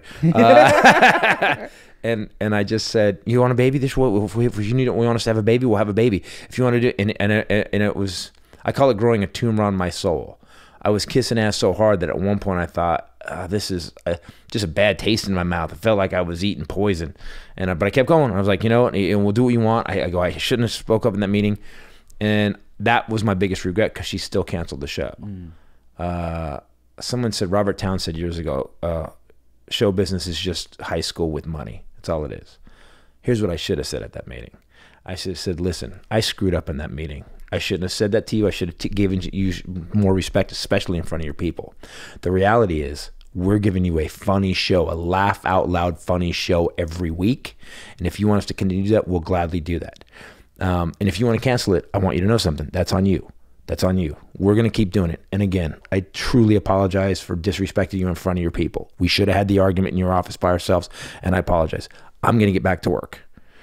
At least then, when, if she canceled it, I can say, well, you know, I stood for what I stood for, and that was it. The other way, I licked her ass to the point where I was like, wow, I, and she still canceled it. Yeah, you she did it still to the canceled- point where where there's no point of her even being like, okay, you know, it's like Yeah. I can't trust you. What do you mean? Yeah, you know, maybe that was it. Yeah, you know, eh, but you know, they so so. Here's the thing I'll learn: is stand up for shit, man. Stand up for yourself. And when someone comes up to you, especially your next time you do your script, a don't be me totally because you're but you can't be. You're just you're you're much more gentle. So, but there is a point you have to stop them because the more you agree with them, especially. Okay, when you were doing your show, did they cross into a territory where you knew that you knew what they were saying wasn't going to work? yeah. Okay, what did you do?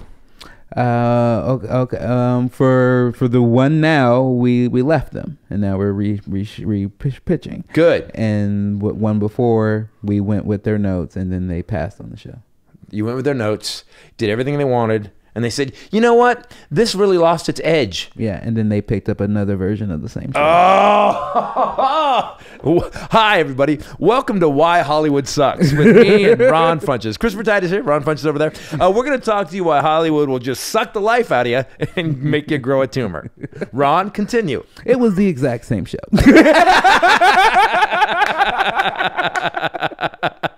Same network, same executives, same. Oh no! How did the show do? Uh, it's coming back for a second season, so it's doing okay. But I don't, I don't wish them no harm. It would, um, the thing I know is that You can't, if we doesn't made that show, I wouldn't have been happy with it. The people who respect me and that I respect wouldn't have liked the show. It's not funny. The show that has came out, that's the same version of it, is not funny. And I'm, I'm happy that my name's not uh, associated. with Awesome. that. So here's what I did at the meeting. When I sold Titus, I, they I I pitched the show out. They said, um, "Will people get this?" And I go, "Yeah." I go, I go, I, I go. You guys understand? I take a poll every night. I'm on stage, Yes. across the country. I take a poll. That's I- what I'm I- saying I to know. people. I know if people make funny. So this is funny. It works everywhere. All these jokes have been vetted. So these other guys that are writing a script and hoping it works, these have been vetted. Um, that being said, um, I want to do a show, and, and you know, I I always I always try to write something that has a meaning to it. Like it has to, uh, like I want people to to get something besides funny. Funny, you, you and I are good at, but to find something else. Like Titus, I wanted to cause a paradigm shift in the way people saw the word dysfunctional. Mm. Because dysfunctional people I know I, in Armageddon, I don't want some normal people that their parents raised them well. I don't know. Give me some fucked up people. Why? Because we know when it's coming, how it's coming, and how to get armed for when it's coming.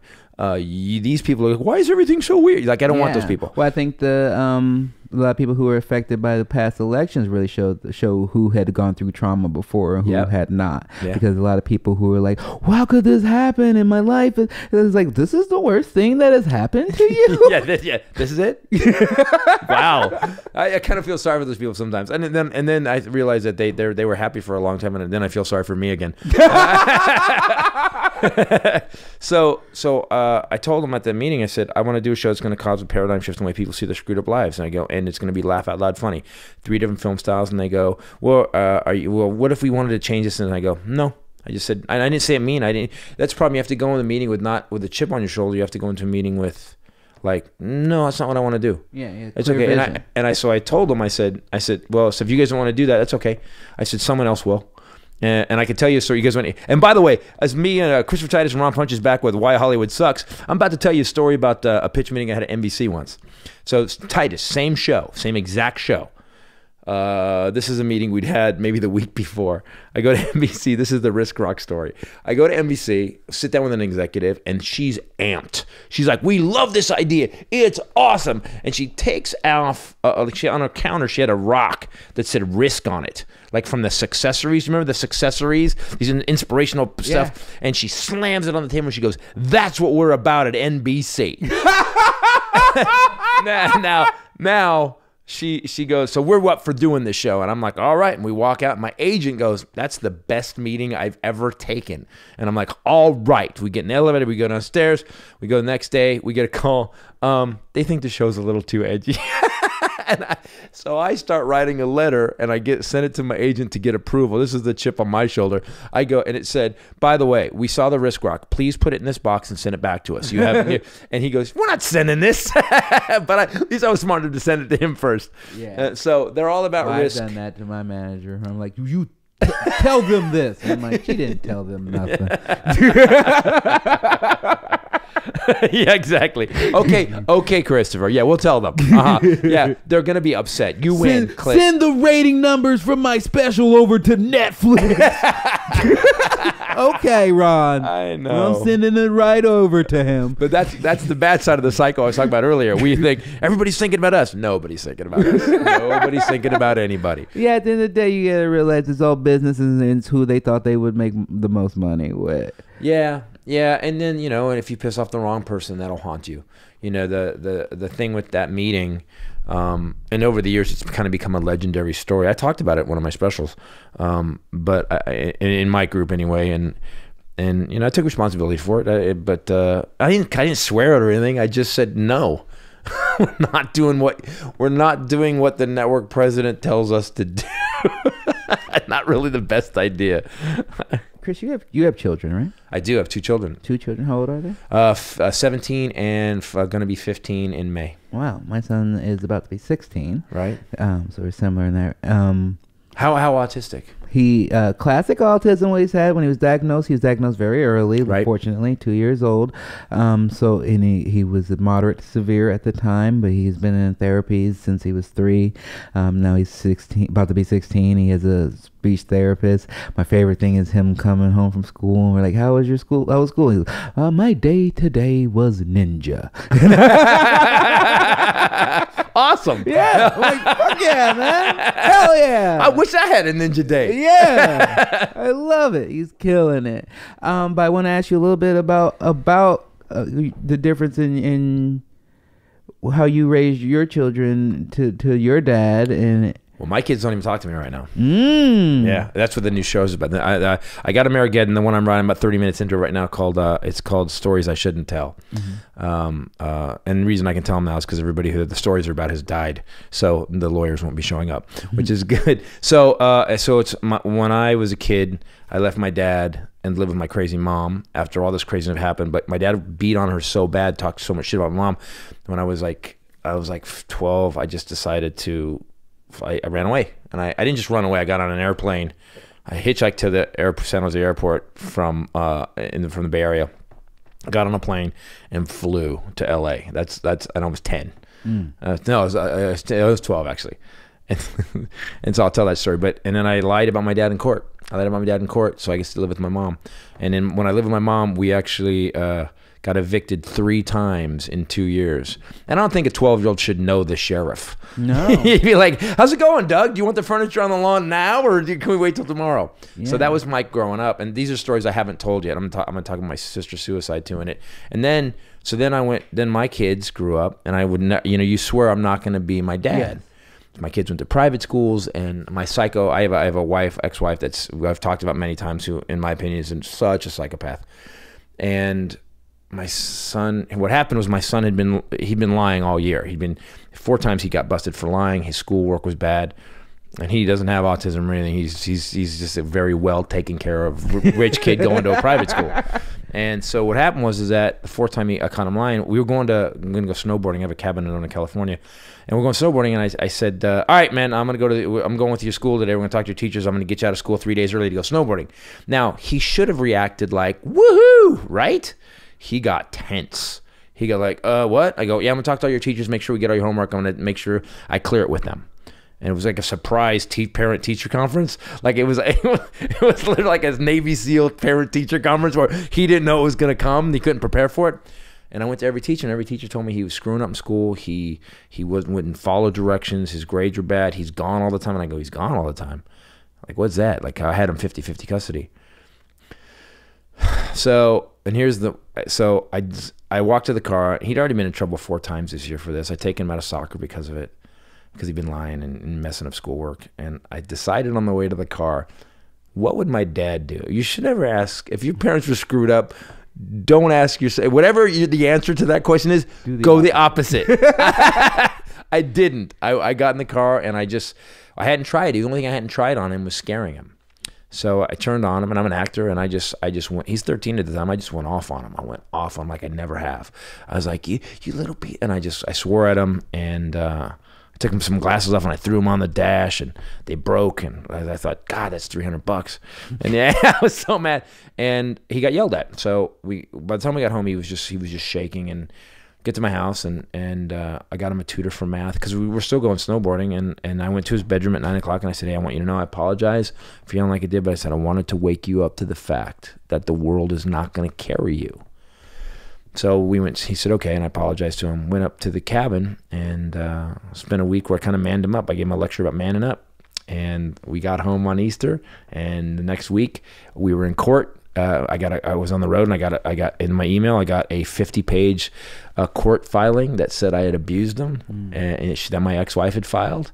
Uh, and then he then and then both my kids lied to child services, just like I did, because my dad told me when I was sick. When I came back to my dad after mom, we got evicted so many times. I moved back to my dad's. He said, "I hope your kids do this shit to you," and they did. he was a warlock. my dad was a warlock. So that's what the new show is about. It's like going through this thing because we all live in tragedy. The new show, like again, I always pick what it's about. We all live in tragedy. Tragedy is average. You know, um, everybody has someone dies, your family dies. tragedy is average. We're all gonna have it. It's what you do between tragedies. Your entire life is made up of what you did between tragedies. No one is known for their tragedies. They're all known for what they did between them. The tragedies just amplify how good the between. So that's what the next show is about, and it's all this circle about me losing my kid. So it's been it's been rough. It's been rough. But my wife, my new wife, said something awesome. She said, uh, "By the way, uh, they're teenagers. They're dickheads right now. We don't have to raise them." that's that's kind of a valid and times point. changed, and, Yeah. and that's true. That's a. I mean, my main issue a lot of time with, with my son He is got that yelled at one time in 10 years, though. That's the crazy thing. And then we found out his mom was taking, the reason his grades were bad is on my weeks of custody, his mom was taking him out of school. Hmm. And she was signing him out, going, doing something for two, three hours with him, and then bringing him to school. He wasn't, he wasn't learning. He was, she was taking him out. Yeah, yeah. Um, we sound like we got similar backgrounds. Uh, do you have an ex like this? Yeah, Oh, it's like that. Yeah, well, We- I- I, we ha- I have sole custody. If Ah. that tells you anything. yeah, that tells me a lot about her. In She California? yeah. Oh, shit, that tells me a lot She about her. couldn't even put up the fight. Like, Oh, wow. you know, she's Wow. that far gone about it. God, good for you, man. God bless. Good, good for you. Yeah, the reason I mean when the parts of my show and the premises of my show is a real life situation I had when I went to I was working on a show here in t- it, you know I wouldn't be working on a show in the show. Let's just tell you the real life situation. Right. I was working on a show um that I, a sitcom I was on called Undateable, Right. and they were changing the work schedule up. And at the time, my my son I had joint custody. I would go and visit my son a lot, and he would stay with me in the summers and stuff Yep. and um, I would go visit him once a month. Right. And w- because of the work schedule, was going to be like, oh, I can't go see him for about three months. Right. And so I'm like, I, but I can go. I have next week off, so I can go next week and see him Right. and and set it up. And so I call him my ex, and I'm like, okay, I I know we don't normally do this, but can I have this week with him? I'm gonna come out there, and I'm gonna come pick him up. I'm gonna take him to a hotel. We'll just hang out, have a dad son weekend. Right, awesome. You know? And I get, and um, she says, yeah, I um, I don't hear hear from her for about another week up until Sorry. I go to pick. Don't worry, I go to pick him up, and I'm going to call her to pick him up, and she's not answering, and she's not responding, and which is not out of the normal for me. Mm-hmm. This had become a routine of being like, she's she'll say yes when I get ready to show up. She'll act like he that they'll not be there just to freak me out, make me feel shitty, Yeah, yeah. and then I'll take him for the weekend. Yeah. And then I go to pick them up for the weekend, and their stuff is all strewn out on the yard, and they're getting evicted. And like, she, Hey, it's Doug again. How's it going, Doug?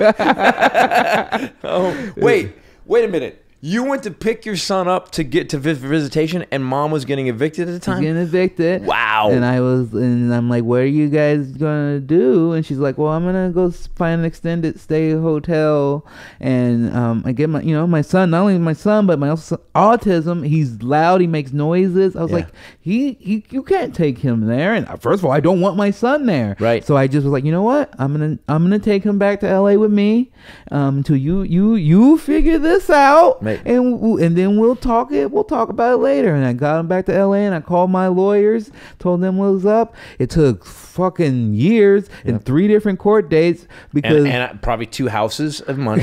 yeah, Two houses of of, money. the, of me trying to convince them that I should have custody of my son because they're like, you're you're traveling, comedian, you're a guy first of all, Right. And if you have a penis for some reason, you can't raise a kid. And and the weird thing is, we're in 2019 now, and there is definitely a. And I, by the way, I'm married um, to an amazing woman. Her father's a marine, and they were still like, "Yeah, that's your new wife," but yeah, but it's their if they if they're 14, they can decide what they want to do, and. If you're again, so what happened? So you got him back. So what I got finally him happened? with me. He's been living with me ever since. I Awesome. got his sole custody. She went off and moved to Las Vegas for some reason, which I never sounds good. I think a lot of first wives end up there. Either passing out flyers or being the girl on the flyers. and you know he's been with me and but that's been our issue now is that um, because he has when he's here you know he has his speech therapy he has his school he has his after school activities and a lot of times he'll just be like i want to go live with mom where i don't where he doesn't have to do anything where he didn't when i got him and enrolled him in school i found out that he he had not been enrolled in school for that year he hadn't been going to school for months Well, here's the problem with me, because again, I have again, you're you're you're such a nicer guy than I am. I get it. So here's what happened in the court the last time, and the, and the judge said, I admit it. I'm like, I, I swore at him. Yeah, I swore at him. I go, this is ridiculous. I go, we went snowboarding that weekend. We had an awesome weekend. But his mom is crazy. His mom, so and and and even the child services, like, I go, guy, this none of this happened. She says happened. You know, well, your son says you were mean to him. I go, I yelled at him. I go, he'd been lying for three.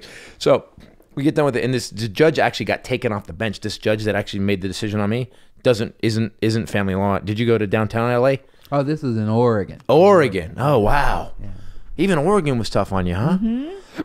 Man, they're very mm, ultra liberal. Makes California look like we're, we're kind of right wing. So uh, what happened was is that the, the at the end the judge goes, "Well, Titus, well, you know, none of this stuff is substantiated except for you admitted to verbally abuse him." I go, "I yelled at him one time in a decade. I once he got yelled at one time," and the judge goes, "Well, Mr. Titus, you admitted to it, so we're gonna get let him go to the mom." And I said, "Okay." I said, "Your Honor, can I say something on record before I leave?" And if I ever say that again and we're in a room together, I want you to grab me and yank me. Just grab me and take me out of the room. I room. could tell from you even that setup. it's like maybe you want to say it off the record. And I and I turn to the judge and I go, "This is the last time I'm going to be in this courtroom. I spent so much money uh, on fighting, and I offered her half of everything, and she said no. She wanted more, and I didn't have it at the time. I was like, I don't. Ha- I you. What are you talking about? And so uh, I said, Your Honor, I said, I said, uh, I said, first of all, I go, this court is ridiculous. I go, I go, this child got yelled at one time in a decade. I'm a good father, and he's got an amazing stepmother. And I go, but you, and I'd, I'd research this judge. I go, you're a real estate attorney. You don't know anything about family law. I've been in this business. I've been in this courtroom for 12 years. I know more about this than you do. And I go, I go, you're ridiculous. I go, and this is a clown show. Thank you, Your Honor. And the judge looked at me and he had this look on his face like, hmm, I guess I could put him in jail right now, or I could just move on. And he said, thank you. Uh, there's an epilogue to it, though. We went back. We went back. She took me back for more child support, and she had forged her taxes. And we had pointed out to the first judge, and he was like, "Your Honor, I don't, you know, I don't care about the. Titus. It's all about you." Well, this new we went back, and I was like, "Oh, and the bailiff, the bailiff. This, you know, the weird part about this. Do you have? Did you have like a? Did you have the same people in your courtroom, or was it different all the time?" It's the same. Okay. This one bailiff is the only cat that has been through my entire case from for 12 years. We've had five different judges. We've had or six different judges. We've had different uh uh different like like the people that write on the thing that the the, the, the Stenographers? stenographers. This one bailiff has been in every court thing I've been in. So he knows more about my case than any of these judges. And I walk into this final day and I know I had just told this judge to to suck it. I basically told this judge to suck. And the, and, and the bailiff walks over to me and I'm signing in and he goes, he goes, hey man, and I go, yeah, I'm back. and he go, hey, hey, I go, this ain't gonna go good. And he looks me right in the eye and he goes, just be you. And the new judge comes out, another guy comes out, and he reamed my ex for her. She faked her taxes, and then he told her, he said, if you bring him back, he points to me, he goes, if you bring him back here one more time, it's gonna cost you. And I was like, what just happened? You know, but my kids and I, you know, it'll work out. It'll right. It'll work out, right? I think it'll right. work It'll work out. right. Ages change. They learn. They go like you know things will be fun. That's what I always. That's what my mom told me was like he thinks his mom is fun now because he can't because she won't let him do things. But you looking out for him, he'll he'll respect later. And uh and I hope that's true. Well, my I, I check my daughter's Instagram once in a while. She's wilding. I'm like, oh shit, here we go, here we go. But you know, this has been a very serious podcast. We've been very serious. Yeah, oh yeah. No, we don't do much ha ha's. oh, good. No, I didn't. Okay, so is it normal like this? Yeah. Oh, good. All right. I didn't know that. I, I just, I didn't want. I don't, let's just We take it down. me all the Hey, it's I Titus and Titus and Funch is bringing it down. We're just gonna bring it down, get sealed. Let's talk to the. Let's it dig into the real a little bit. Talking for real. Um, I mean, we went. so- all, I didn't even have notes for this. Next time you go write a, a show, man. Again, uh, there's a point. You learn that thing where you try to you try to give them what they want on writing a show, and and and at one point you didn't get that far because if if they knew what they wanted, they would tell someone to write it. They don't know. They do not know. Everything's a fluke. HBO turned down Breaking Bad. HBO said, "Fuck no, no, hell no." HBO. One of the biggest shows of all time. There's, I mean, you know, the people that turned down Titus, NBC turned down Titus. Titus, the box set for the third season of Titus goes for 200 bucks right now. And I was like, knock on wood, I didn't end up in a discount bin. That's right. Woo! I'm not in the discount bin. Classic. Yeah. so that and so you you just if any if someone else said that nobody in show business knows anything. It's so true, and you have to remember that when you're in there. Yeah. They like you because of you. Here's what I do. If you want that, let's do that. If not, okay. But do I'm me a favor. doing what I do. Yeah, but do me a favor. Don't hire me for me and then make me not me. Mm. if people Yeah. could just, and that's again, the, the people I love the most in, in show business are the ones that go, no, no, we hired you for you. Do everything the best way you can do you. And then if it doesn't work, it doesn't work. Yeah. Don't and- don't get me and then mute what makes my my best qualities. Right. Well, then you get to walk away clean, though. See, the problem is like with that meeting I said, and probably at that show the first time when you changed it for him and it didn't go, didn't you hate yourself? Weren't you mad? Weren't you like that you changed it up? Well, I just knew what I would just write these things at the at the end of when I was writing what I liked at the end of it. Even there's always that pressure and all the like, oh, it's not fucking working. And then you like at the end of the day, you're like, fuck, we did it. And with this show, even when that we were done, it was it was just like, all right, well, we did it. we knocked. it Yeah, you weren't happy. Yeah. you grew a tumor on your soul. And and by the way, here's the thing. Here's here's you. Here's death. It's going like it's it's coming. It's coming. Why would you waste any moments in between there dealing with dealing with some guy? Like, you want to hear? a- You want to hear a network story? Yeah. All right. Here's a network story. This is a fun one. Uh, so we're on the show with Titus, and and we've been we're doing crazy stuff. We did an episode where we we had an intervention to get my dad to drink again, like, and we're pitching this stuff to the network. Uh, episode four, we cheated on each other, and then and had to fight that out. Had that because everybody had everybody had real people have those fights. And uh, and the network would just see every time we pitch an episode, they were like, "Oh my god!" Uh, we did an episode where uh, my mom, when my mom actually shot her husband. We did all kinds of crazy. She really did, by the way. My mom actually shot and killed her last husband. Uh, uh, the joke I use, I say last husband because you don't get another one after that. uh, so uh, so we did all these crazy episodes, and so we did an episode where my dad was in. I, I, I, this is a true story. There was a gig that, at, at Paradise in uh, by the Bahamas that used to be. Did you ever work that gig? Did you ever do that gig? Okay, so you go down and you do this casino uh, in the Bahamas, and it was fun. My dad loved to gamble. I knew they had gambling. I said, Dad, why don't you go with me? Because he had already had three or four heart attacks. It was, you know, I knew the end. The end could be at any minute. So I said, all right. And he was he's still he was still pretty robust for, for a guy who had four heart attacks. Um, uh, but he so we go to there and, and what happened was he didn't hang out with me at all. He gambled the whole time. and I called my wife at the time. I was like, hey, he won't even he won't even I brought him here to hang out, father son, and he won't hang out. She goes, go go gamble with him. I sit down at the table with my father. I gamble. We, we play three hands. He loses three hands. Turns to me and goes, "You're bad luck. Get the fuck away from me." So I, I, I burst out laughing, and I went and sat with these other people. And We played, and we, we won a little bit of money. My dad shows up like an hour later, and I'm like, "You lost everything, didn't he?" And the man pulls out a wad from his pocket. Like he goes, "No, I made ninety five hundred bucks." Damn. So that's the true story. So when we did the show, I wrote we wrote an episode like that where we go to the Bahamas and the whole crew goes down to hang out to become you know to to, to bond the family together. And Dad just plays just gambles. So he just keeps playing cards. So I sit next to him. He tells me to leave. And all of a sudden he gets on a streak and he starts winning. We start to have the, the story is the script he wrote, he's having a heart attack at the table. Mm-hmm. He starts to have a heart attack. But he's on a streak, so he won't leave. So at one point, Keach is so funny. His left side's going numb, and he's not playing. He's playing it like his side's dying, and he's still he's still trying to put cards down. He's lifting his hands up. It was, Keach was hilarious. in this in the show, Keach has a heart attack at the blackjack table, falls off the thing, and dies. He dies. And then we cut to he, we go in, in and we, we're in the we're in we're going through space and time and we show up at the pearly gates of heaven. And as Keach shows up to the pearly gates of heaven they turn the lights off. And they're like and everyone's like Shh, we're Nobody's here. home." nobody's home. We're out. We're closed. And so Keach is banging on the gates of heaven and he's screaming and you hear someone go someone you hear a piano go bong and someone goes Jesus sorry. Like it's like it's it's all this stuff that we shouldn't be doing. It's wrong so I know at network notes, and you've had notes with people, and and and there's people you love to hear notes from, and there's people when they start talking, you're like, hey, you just have to focus. You have to get your face, lock your face, so you don't show any emotion.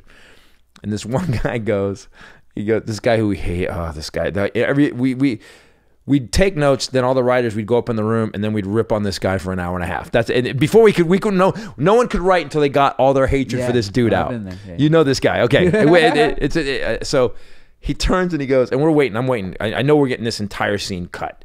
A, we can't kill a main character because we brought him back at the end, but we can't kill a main character. B, we did all this religious imagery. C, that's what I'm waiting for. I'm waiting for this long lecture on what we can do. And the guy goes, it's in the Bahamas, right? And you know, Cynthia Watros is super hot. And he goes, uh, so it's in the Bahamas. And I go, yeah. And he goes, well, so listen, uh, Cynthia is going to be in a bikini, right? And I go, yeah. And he goes, well, we're going to put a wrap around her lower part, you know, but, but yeah, she'll be bikini. He goes, here's what I'm going to need. I'm going to need to see, we want to go as far as standards or lettuce with Cynthia. So why don't you make sure I get to see the bikini, um, so we can, so I can pass it by standards because we want to get as small as the bikini as we can. And we're all sit, all the writers, we're all sitting there, and, and like, and I'm wait, and, and I, and I said, is that your note? And he goes, yeah, funny episode. and then the next thing, something tiny would blow the entire script out.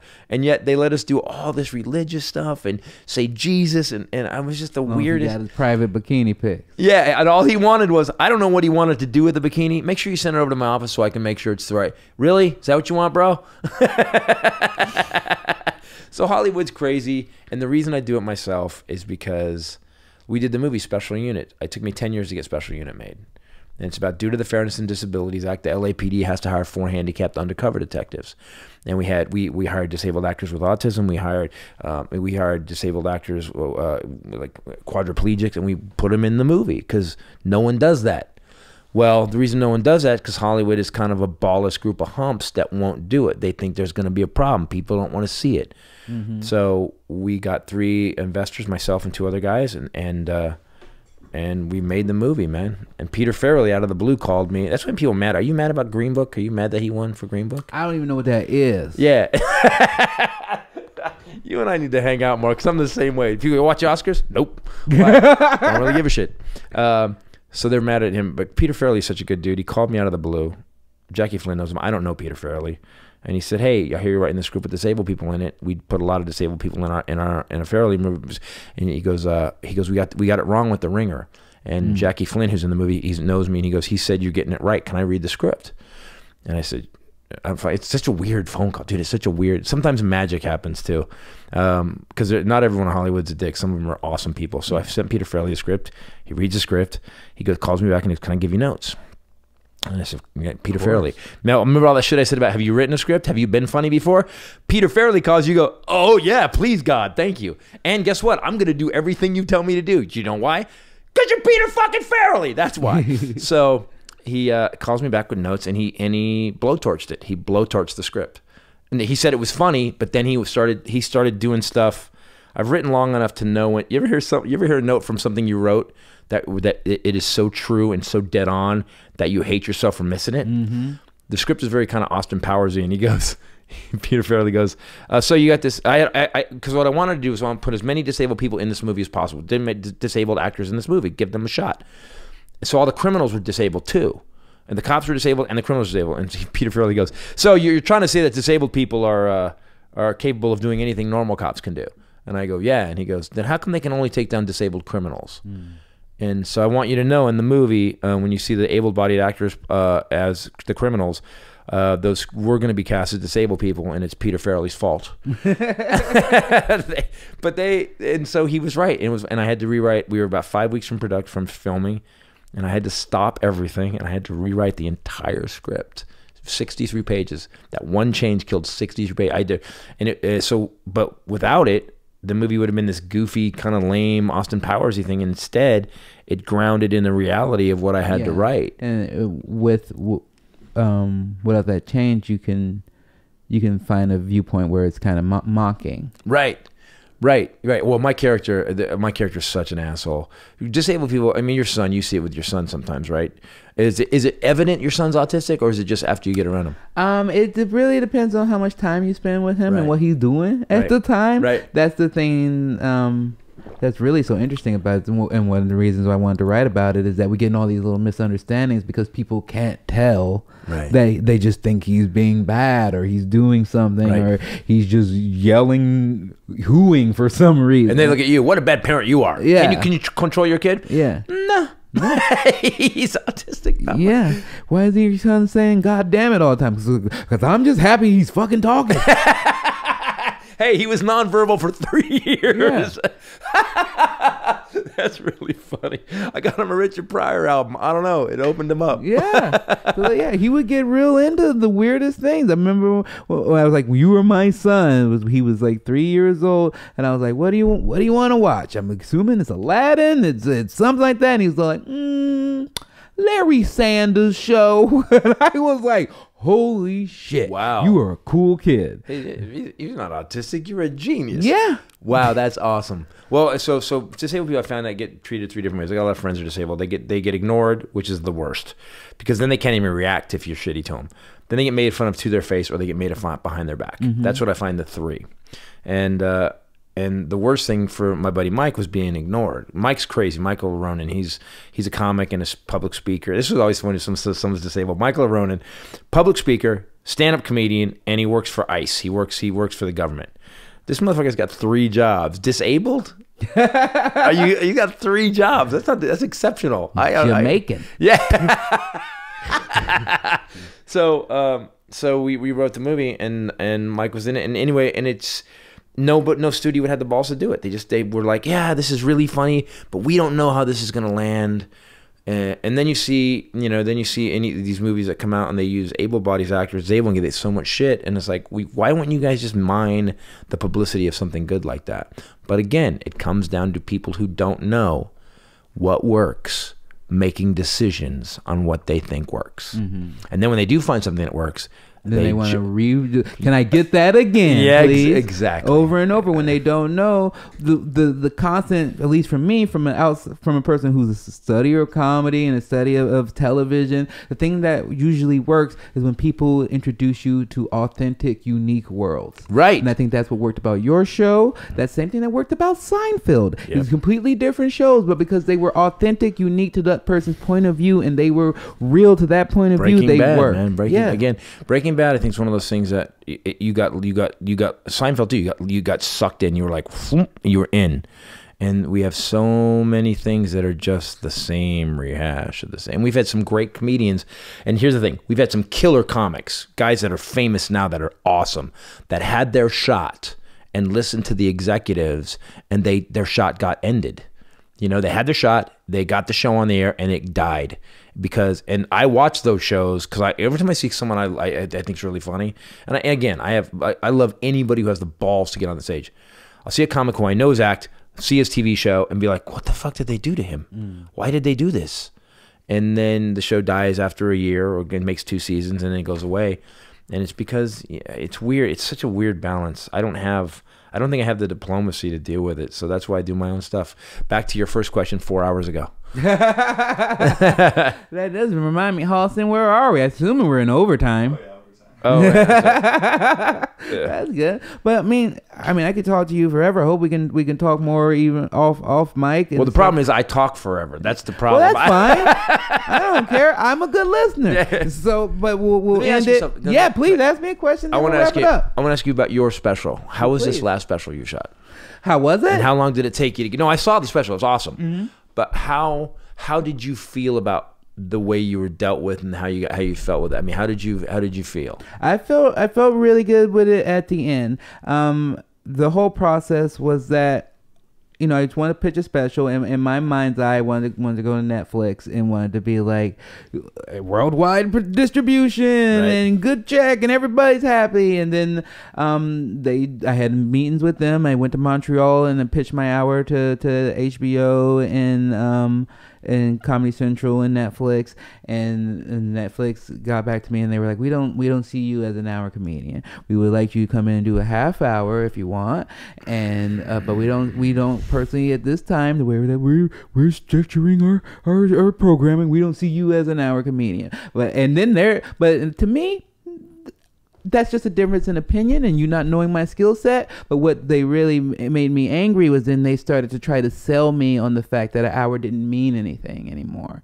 That it was just a older ideal that I was holding on to, and that people were engaging more with these half hours, and these 15s. and I'm like, I'm not a fucking idiot. What do you mean? You're telling me that I'm better off being in the middle of six 30 minutes that you just that you put out at one time than having my own fucking special with my own name on it? It. Isn't it awesome when when when some 25 year old who doesn't oh, this would be clear doesn't know shit comes out and and they try to change a model that has worked for 50 years.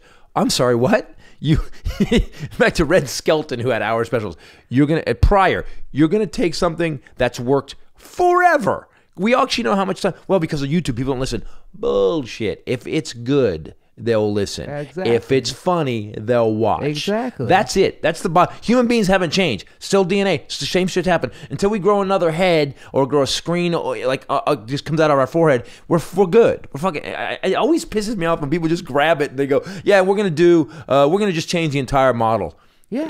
You know what's gonna you know what's gonna be good for you? You're gonna be a barista now. In about two in about two years, you're gonna be a barista. Why? Because they're gonna go. Remember that guy that tried to change it and make comedy 15 minutes? Hey, I get what what happened. I don't know. I think I think he makes lattes now. God damn, yeah, it and then and then to me that's a whole it's a whole it's it's a less model about specials and to me a special is someone when you like I want to present you a full meal of comedy that I presented maybe it's taken me three years two years five Narrative. years ten years who Yeah, knows yeah, narrative. but but I have this done and my life has changed and I'm moving on and to me now there's more of this assembly model of like let's just shoehorn everyone into a same lighting same stage same thing and I didn't want to do that so I I And that's the company I said no to. that's exactly. Uh, but th- here's the thing. That's what we're gonna do. Something. I, I well, combustion films. If any comics out there that ever hear this, and you tell people you guys want to shoot your special the way you want to shoot it, um, we can do it better than we can do it better. And then I now I and I now have a distribution partner that we're gonna take care of their comedy division, and it'll be worldwide. And here's the thing: you're gonna get big Netflix money up front. No, but what you will get, you will own your special. You'll get 80% of the revenue. They will put it on there the, the, around the world, and it'll get it'll get made. And in three years, guess what? It's yours again. If you're happy with the deal, there'll be another couple years. And if you're not, then you get your special back, and it's yours. You know why? Because it fucking should be. Yeah. You you you. People don't even understand how hard it is to do comedy. I, I should shut up now because it's going on. But you fucking travel and you bleed and you work and you suck sometimes and some asshole th- yells shit at you one day and, and you have to deal with that dickhead and, and you deal with club owners and shitty green rooms and horrible hotels and, and then someone goes someone who's sitting in an office in L.A. who's making money off a hundred thousand comics or maybe hundred comics goes yeah yeah no we're gonna own that now. No, you're not. Blow me. And that's again why I'm slowly getting taken out of show business. But Thanks. it's smart, and maybe I'll, I'll, I'll do it. I'll learn to do it that way without telling people blow me, and they- they just won't know. Here's the thing about Hollywood. It does, if you know, it just means blow me. I think everybody knows it. I just, I, I, I gotta, I gotta change my. My wife is trying to. I'll get better. I need. Do you have a good therapist? Yeah, I do. Okay, good. I He's should great. go see him. I should go see him and talk to him. I think they would just say, just don't talk a lot. You don't have a therapist?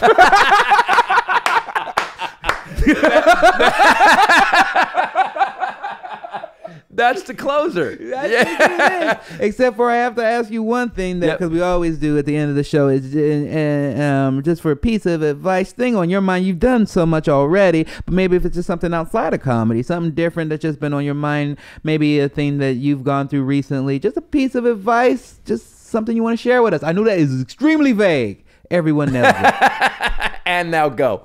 Again, it's what I learned this last time. Tragedy will happen. What are you doing now? What? You know, and so many people ride their tragedy. You- uh, My my brother, my brother who I love to death, still talks about. Dad never went to my baseball games. Motherfucker, you're 43. Hmm. You're 43. I was going to be a professional baseball player. No, you weren't. you know, and he still you. You, you so you, tragedy happens. Now what? Mm. I think that's excellent advice. Yeah, that's, thanks, that's beautiful. That's, that's exactly how I feel. It's how you act in between, how you how you handle it. It, it- Yeah. it happens to all of us. Like you said, it's, it's the one true constant. Yeah, people get offended when I say tragedy is average. They're like, "No, my mom died." Yeah, my, I know. What did you think? She was a vampire? Do you think she was gonna make it? Oh man, well, it, I knew I, um, it would be a pleasure talking with you. I've always wanted to, um, so I really appreciate you taking the now, I time. want you're gonna come do my podcast, right? please. I love Uh, to. We actually we do the Armageddon update and we talk about stuff. We bring whatever's going on in the world and then we beat on that. okay, All right. absolutely. All right, thank I you, love man. to. Please, thank you for taking the time. Thanks, man. Thank you guys. Bye.